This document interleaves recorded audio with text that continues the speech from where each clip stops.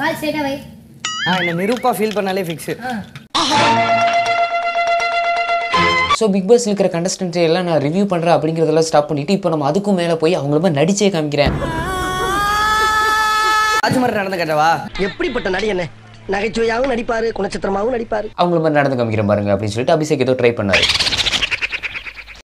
நீ லோடு ஏத்துறதுக்கு நான் தான் கிடைச்சனா? ஏண்டா? ஒரு சிங்கத்தை அசிங்கப்படுத்திக்கிறா வீட்டில் இருக்கிற நெருப்பு மாதிரி நெருப்பு மாதிரி எல்லாம் ட்ரை பண்ணுறேன்னு சொல்லிட்டு இருந்தவர் திடீர்னு அவர் ஒரு ஃப்ரெண்டு மாதிரியே ட்ரை பண்ணுறேன்னு சொல்லி மைக்கை கழட்டி வச்சிட்டாரு. ஒரு ஃப்ரெண்ட் இருக்கான். கழட்டிட்டு போனீங்களே?